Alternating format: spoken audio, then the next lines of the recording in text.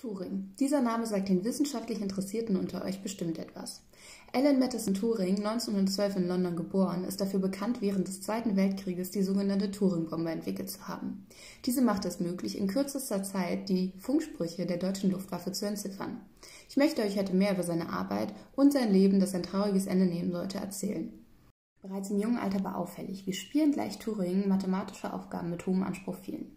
Mit 16 Jahren öffneten ihm dann Einsteins Arbeiten die Türen zur Wissenschaft. Von dort an studierte er Mathematik und wandte sich immer komplexeren Fragen zu. 1936 entwickelte er die Turing-Maschine. Dieses Konzept bietet die Grundlage für den Computer, wie wir ihn heute kennen. Darauf aufbauend hat er ebenfalls den Turing-Test entwickelt. Dieser soll nachweisen, ob Maschinen denken können. Künstliche Intelligenz ist also nicht erst seit dem 21. Jahrhundert ein Thema. Eines der ersten Schachprogramme geht ebenfalls auf ihn zurück. Im Jahr 1952 wandte er sich einer anderen Leidenschaft zu, der theoretischen Biologie.